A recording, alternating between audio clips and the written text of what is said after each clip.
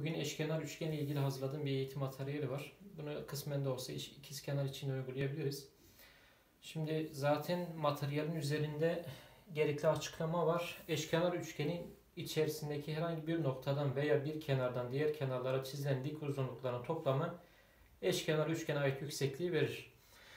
Bilindiği gibi eşkenarın yükseklikleri birbirine eşit. Yani A köşesinden tabana inen veyahut da B köşesinden tabana inen veyahut da C köşesinden tabana inen yükseklikleri birbirine eşit. Eşkenar üçgende.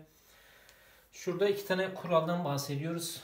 Eşkenar üçgenin içerisindeki herhangi bir noktadan, herhangi bir nokta olabilir burası. E, tabana indirilen dikler, yani şurası 90 derece, şurası 90 derece ve şurası 90 derece ise bu uzunlukların toplamı bir kenardan diğer e, bir köşenin diğer kenara giden e, yüksekliği verir. Şurada cetvelin üzerinde sayılar var. Burası 10, şurası 20, şurası 13. Yani toplamda 43 ediyor. Zaten yüksekliği de 43. Ee, bunu değiştirseniz de fark eden bir şey yok. Mesela şurayı 15'e getirdim ben. Şurası da 15 oldu. Şurası da 13 oldu. Toplamı yine 43 etti.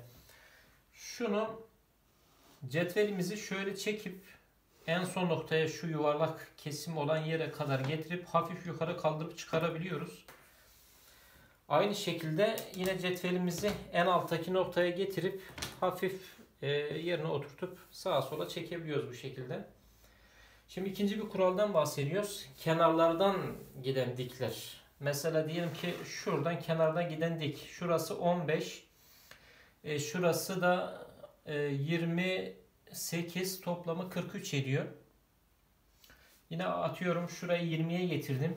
Şurası 23 oluyor otomatik olarak. 20, 23 daha 43 toplamı yine şuradaki yüksekliğe eşit. Zaten şurada da 43 olduğunu görüyoruz. Bunun üzerinde sayıları var.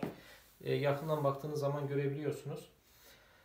E, yine şu üçgenin diğer köşesine de götürsem şu köşeden şu kenara gelen yüksekliğine 43 olduğunu ve 90 derece geldiğini görebiliyorum.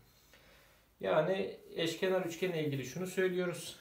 İçeriden herhangi bir noktadan kenarlara gelen diklerin toplamı yüksekliği verir. Yine aynı şekilde herhangi bir tabandan kenarlara giden yükseklikler yine eşkenara, eşkenar üçgene ait yüksekliği verir. Bunu ikiz kenar için de söyleyebilir şu olayı. Mesela şurasını 20'ye getirdiğim zaman şurası da yine 23 oluyor. Toplamı 43 oluyor. İkiz kenar için de geçerli bir kural. Bu materyalimizi duvara sabitleyebilirsiniz. Ben şunu çıkarayım ne şuradan. Hafif yukarı kaldırdım. Şuradan tekrardan vidanın denk geldiği yeri ayarlıyorum. Şöyle oturttum. Şunu duvara sabitleseniz de bu cetveli yerinden çıkmıyor. Bu cetvel yerinden çıkmıyor. Şu dök, e, yere düşmüyor. Dolayısıyla iki e, dübel ve e, vida yardımıyla bunu duvara da sabitleyebilirsiniz. Duvara sabit bir şekilde de kullanabilirsiniz.